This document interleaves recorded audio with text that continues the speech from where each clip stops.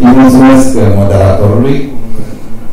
E o plăcere pentru mine să vorbesc despre știință în relația ei cu religia, mai ales că am în față pe cineva care are o barbă mult mai mare decât mine, deci ne supunem religiei, noi oameni de știință.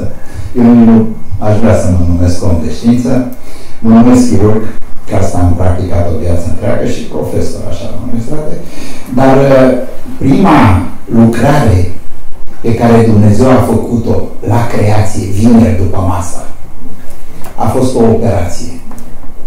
O intervenție chirurgicală. Este singurul lucru descris în Biblie ca atare. Dumnezeu l-a operat pe Adam. Dar cum l-a operat? Exact ca în 2024.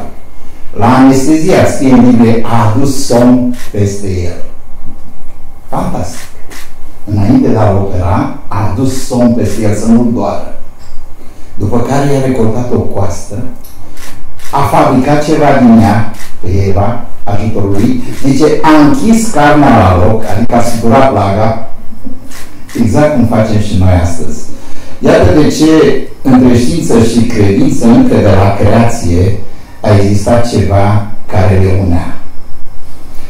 Mă bucur că cineva, tocmai de la care la unde am făcut și eu liceu, am liceul la bază, nu după facultate, l-am făcut înainte, uh, a fost aici domnul da? și sunt fericit să-i spun de ce folosesc ordenii perfectul simplu.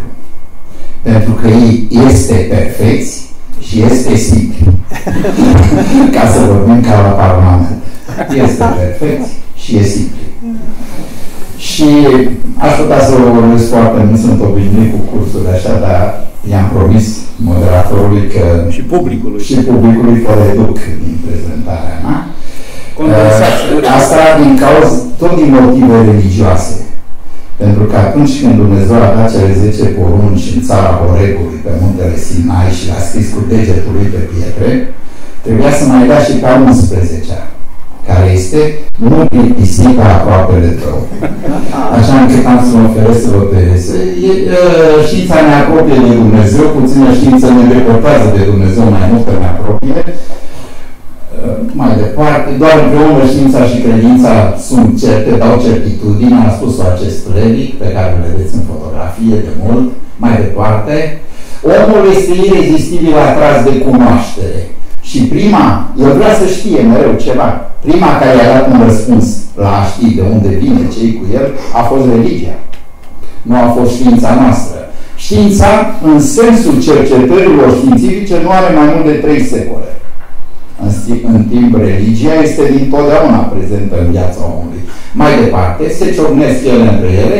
Primii oameni care nu erau oameni de știință erau inițiați. Vedeți în stânga în Egipt cum se iniția omul din stânga de jos, mergea acolo în templu și la ce au ajuns mai departe, vă rog, să facă multe lucruri, piramide, dar trebuia să se supună divinității, încă de atunci.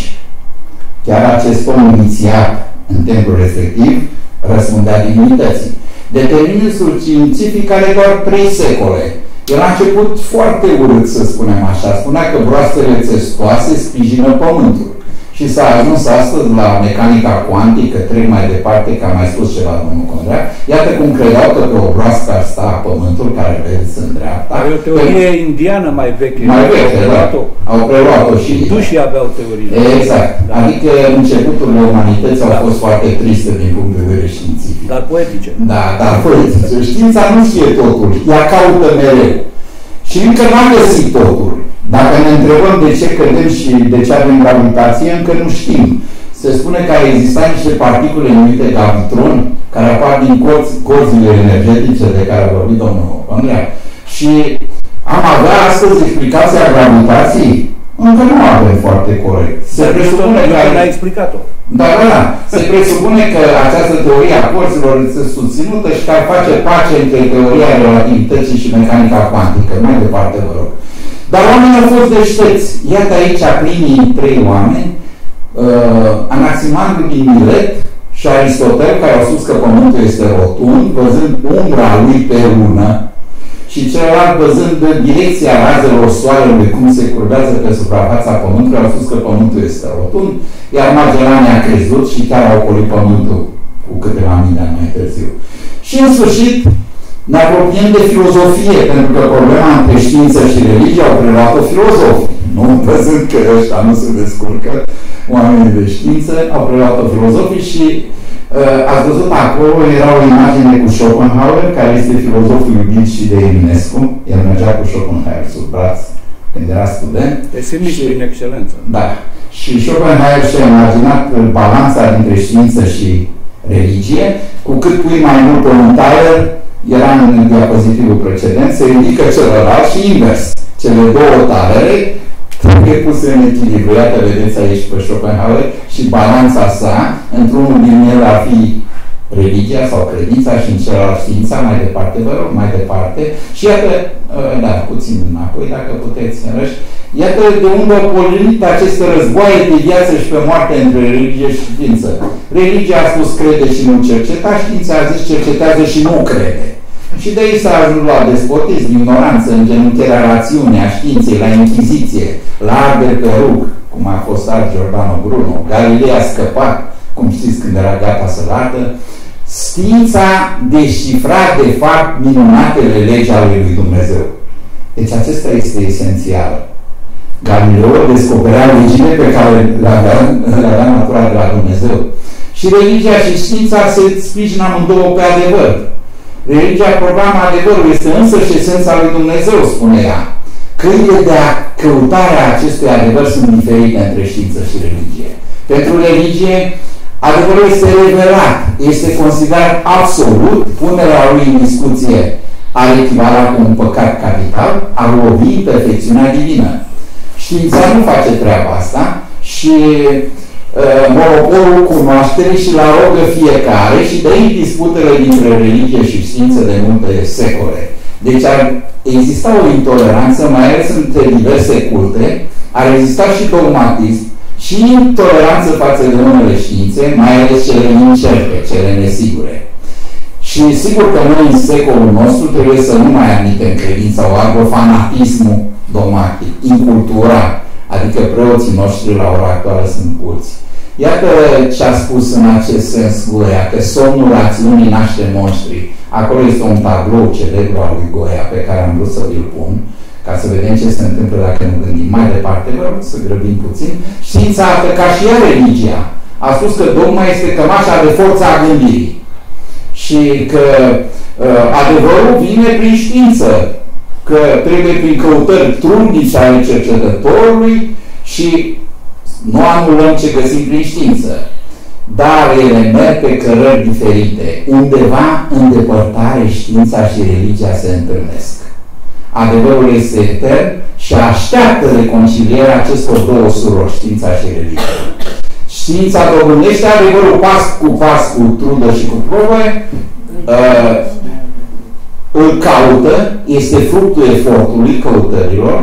Uh, domnul Bologa chiar a condus ani de zile un institut de cercetări, dar i-a căutat pe cineva cu care să ucidă microbii până când a observat prin cercetări că ciuperca penicillium notatum ucide microbii de lângă ea și a descoperit penicilina după cercetări de laborator foarte. Am dat doar un exemplu aici.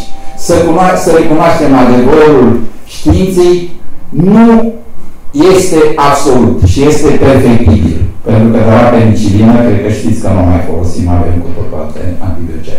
Postulatul adevărului, adevărului omului de știință cunoașterea de azi corectează pe cea de ieri și va fi depășită de cea de mâine. Deci se autodepășește mereu, trece mai departe, ca să scurtăm prezentarea. Multe dogme sunt evitabile sau nu există în realitate.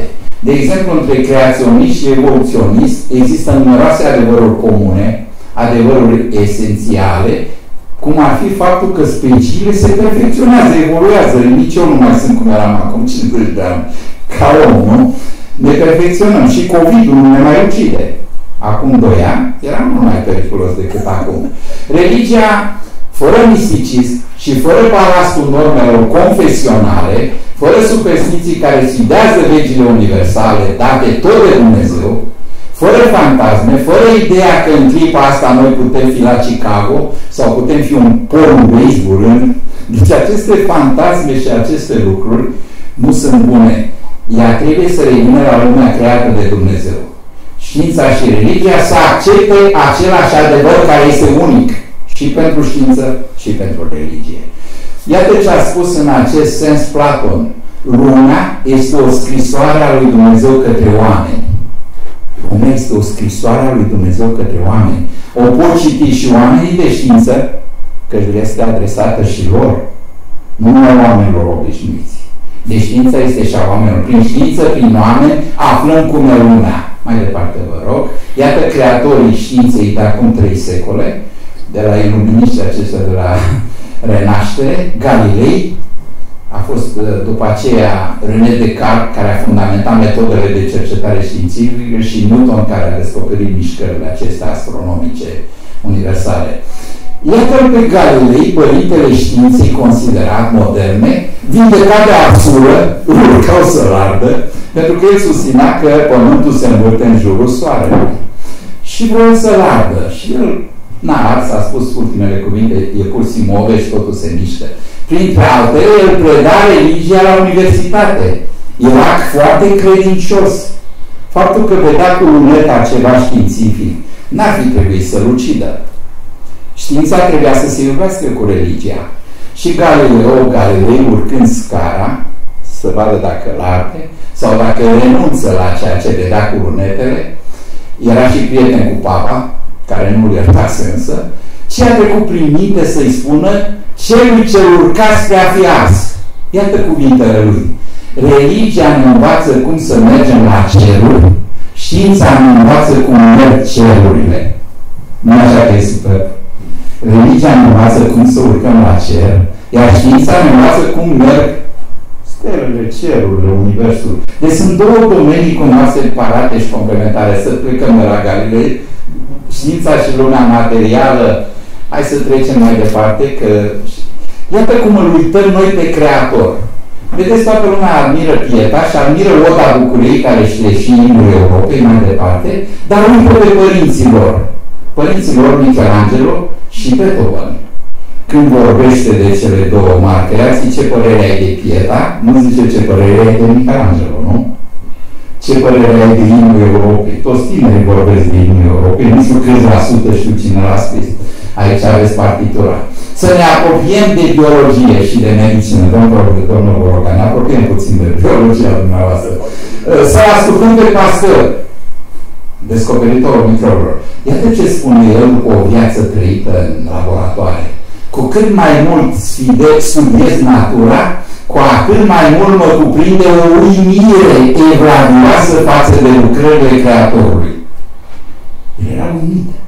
Ce vedea el în microscopele lui, mai departe vă rog, dar iată și efectele perverse ale științei. Aici aveți pe Robert Oppenheimer, care a trăit între 1904-1967, a murit de un cancer esofagian destul de tânăr.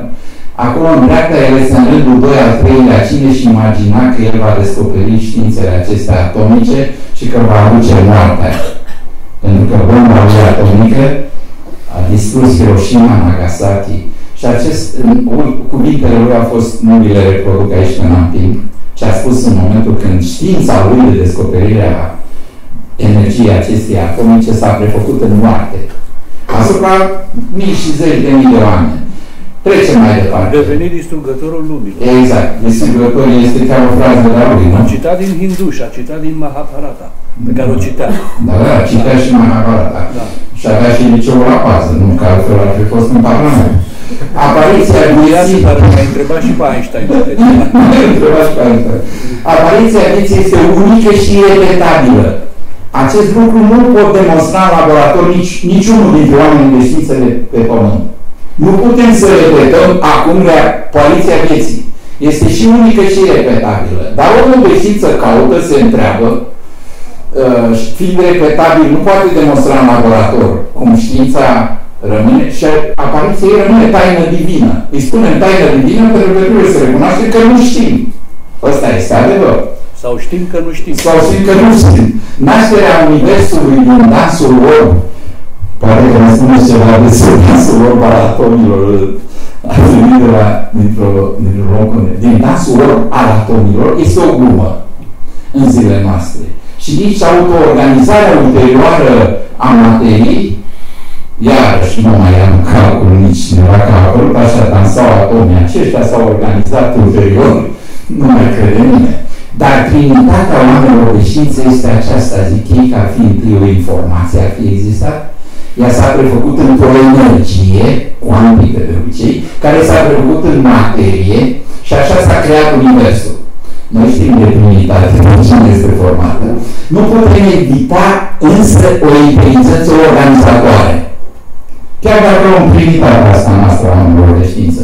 Trebuie să fie existat o inteligență organizatoare. Că legile naturii tot universul sunt aceleași. Ce se întâmplă în atom, se întâmplă în tot universul. Cuantele energetice din tot universul sunt identice. Energia se poate transforma în particule, ajungând astfel iarăși la divinitate. Că inițial este energia care devine particulă. Iată cum ajungem în Doamne, Doamne, mai departe, vă rog. N-am lămurit de ceva, era inteligența artificială, trăim în vremea în care ținem noi această conferință, se simte impactul pozitiv al inteligenței artificiale, dar și cel negativ. Căutăm riscurile inteligenței artificiale, din păcate viziunea globală este înfrântă de cea individuală, de interesele fiecărui om, mai departe vă rog, ajungem la creație, la Big Bang, ar fi existat întâi un univers informațional, dar acela trebuie să fie divinitatea. Vrând dacă luăm această teorie, după aceea un, un univers cuantic, energetic și după aceea un univers material în care trăim noi, această trinitate care o acceptă oamenii de știință din zilele noastre a dus la apariția materiei organizate, dar această materie organizată a căpătat viață și a căpătat conștiință. Ceea ce facem noi în seara asta, exersăm cu conștiința noastră aceste relații dintre știință și Dumnezeu. Deci a apărut pe lângă viață și conștiință. Deci la început a fost haos, a venit inteligența organizatoare care ar trebui frumos să-i spunem Dumnezeu și iată ce a zis Eminescu. Pentru cine nu am pus această imagine cu Eminescu. Dar deodată un punct se mișcă, cel din tâi și singur, singur. Iată cum din haos face unul, iar el devine tatăl. Aici vorbește Eminescu de Dumnezeu. Iar el devine tatăl. Punctul acela de mișcare nu mai slab ca boaba spumii este stăpânul fără margini peste marginile lumii. Asta e teoria relativității, stăpânul fără margini peste marginile lumii, nu? De atunci negura eternă se desface în fâșii, de atunci răsare lumea, luna, soare și stihii, de atunci și până astăzi, cu o de luni pierdute, vin de sure, văi de haos pe cărări necunoscute. Că sunt necunoscute, trebuie să... Și eroiul luminoase izvorând în infinit, sunt atrase în viață de un dor nemărginit. Cu toate problemele acestei vieți, noi dorim să trăim. Uitați-vă la noi, chiar la noi mai septuagenar, da, de un dor nemărginit. Iar în lumea asta mare, noi copii ai lumii mici, facem pe pământul nostru un șuroare de furnici, microscopice popoare, regi, oșteni și învățați, ne succede în generații și ne credem minunați. Se crede să avem și minunați, chiar să spun. Ne succede în generații și ne credem mai departe, vă rog, când nu prea am timp. Dar știința și religia sunt o singură lume. Nu mai există două lumi, una materială și una spirituală. Dacă undele devin particule și invers particulele devin unde, înseamnă că există o singură lume, realul și irealul energeticul se întâlnesc, sunt împreună, materia și spiritul sunt împreună. Cumva identice. Depinde de gradul vibrației și de gradul condensației. Deja de ce spunea domnul Condată, de noastră. Așa este. Sunt două componente ale, unui, ale unicei realități. Nu mai există nicio opoziție a știință-religie. Sunt complementare, nu contradictorii. După conferința de asta, măcar noi cei din sală să le considerăm complementare. Unde am ajuns ce ne așteaptă? Putem călători în trecut? Că știmpul și spațiul zice că se curbează. Ne putem duce mult în trecut și ne putem duce și mult înainte. Putem călători acum și în viitor. Ce l-a întrebat pe Einstein când i-a pus cineva o întrebare despre relativitatea curborii timpului? Adică să te duci în viitor. Ia ascultați ce a pățit Einstein. Și domnul Einstein, puteți pleca și vă puteți întoarce înainte de a pleca, dacă totul este relativ. Putem pleca noi astăzi sâmbătă undeva să ne întoarcem joi? Ce credeți că a răspuns S-a enervat Einstein, bineînțeles. Și a spus, da, domnule, se poate dacă vom călători cu viteză mai mare ca a luminii. Putem întâlni pe cineva în viitor dacă ne deplasăm mai repede decât lumina, ceea ce este imposibil. Pentru că Dumnezeu a dat această lege care a limitat viteza luminii. Universul știința nu au margini și totul se întâlnesc. Mai departe, vă rog. Iată aici un aforism al lui Rable. Știință fără conștiință este ruina sufletului. Mai departe, dar sunt derapaje toxice ale științei, trebuie să recunoaștem. Cercetătorul de mâine, omul de mâine, mă apropie de sfârșit, cum să numesc pe cel de peste 20 de ani care va veni la acest club, invitat de Dezideriu și de domnul Juvenalu și de noi toți, cum să numim? Îl vom numi Homo novissimus, omul foarte nou. Îl vom numi omul necredincios. Pentru că el nu va mai fi, nu va mai avea eșapamentul credinței în jurul lui. Sau vom numi Homo futurus, omul viitorului. Ceva între speranță și frică. Noua generație saturată de răspunsurile noastre, chiar de ce am spus și eu astăzi, existențiale nu mai suportă ambianța vechilor intelectuali. Dacă discutați cu copiii noștri, o să vedeți că ei nu mai sunt saturați chiar de știința noastră care îl acceptă și pe Dumnezeu. Adică sunt oameni de știință și credincioși, cum spunea și pastorul, dacă ați văzut.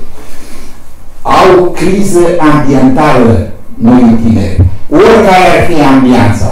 Ei vor lasă în pace. Omul modern este sceptic la mântuire, este habarnist, habar n-are ce e mântuirea, ce-mi pasă, zice. Asta este expresia cea mai folosită. Nu înțelege viața eternă, nu vrea să plătească pentru ea prin privațiuni în viața prezentă. El vrea să trăiască cu asta prezentă. Care există, este reală. Deci cea mai dramatică nu este confruntarea cu divinitatea, ci confruntat la lor cu sinele, cu ei înșiși. Mai departe, vă rog. Senzația intelectualului din secolul 28 are senzația incontrolabilului. El nu știe ce se întâmplă, nici în politică, nici în știință, nici în viitor, nici în trecut. Are senzația incontrolabilului.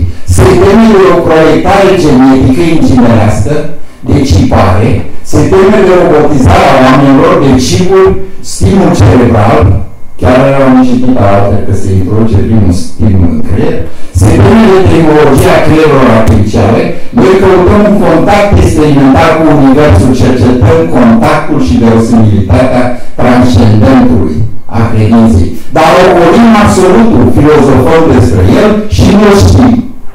Nu știm nimic despre punctul mitic de pornire. De ce? De ce a pornit cândva existența noastră a Universului atât mai departe, vă rog, ca să ne apropiem, uciderea libertăților colective rămân cele individuale, ateismul, etc., etc., noua generație în coliziune cu cea veche, mai departe, vă rog, inteligența artificială generează neliniște, poate genera informații eronate, poate să nu mai asculte convențiile umane, mașinile, roboții pot deveni inteligente în sine, poate comanda inclusiv extinția umanității. Să ne imaginăm un robot care știe toate legile și să apară pe post de avocat. Chiar sunt imagine pe internet cu avocații robot. Ăla preia toate informațiile procesului și dă răspunsul. Uh, inteligența uh, artificială deja corectează, detectează, vine oare apocalipsa părinte.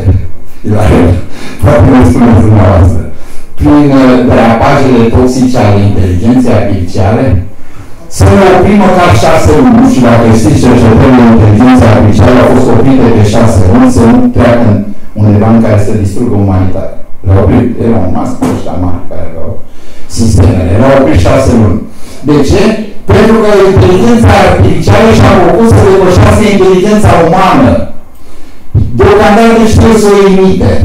Sunt mașini autonome, sunt brățări robot psihologice pe documentele noastre, va controla războaiele, va distruge ținte, ne va face să gândim diferit, ca un GPS care te duce unde vrea el, corect sau nu, vom comunica lucrări share GPT. Adică să-ți comunic lucrarea asta mea și să mi fi făcut un share GPT și o să fiu cu ea la dumneavoastră. Acest lucru se face deja. Sunt mii de lucrări științifice făcute prin uh, chat GPT-ul ăsta și nici nu știi de unde vin, știți? Nu, uh, nu mai avem identitate. O parte din identitatea noastră am dorit o științe artificiale. I-a zis, tu ești cardul meu de sănătate, iată ce voleam, tu ești cardul meu de, tu ești, tu ești ceva. Altul că se facă și un comun ăsta financiar uh, pentru toată populația.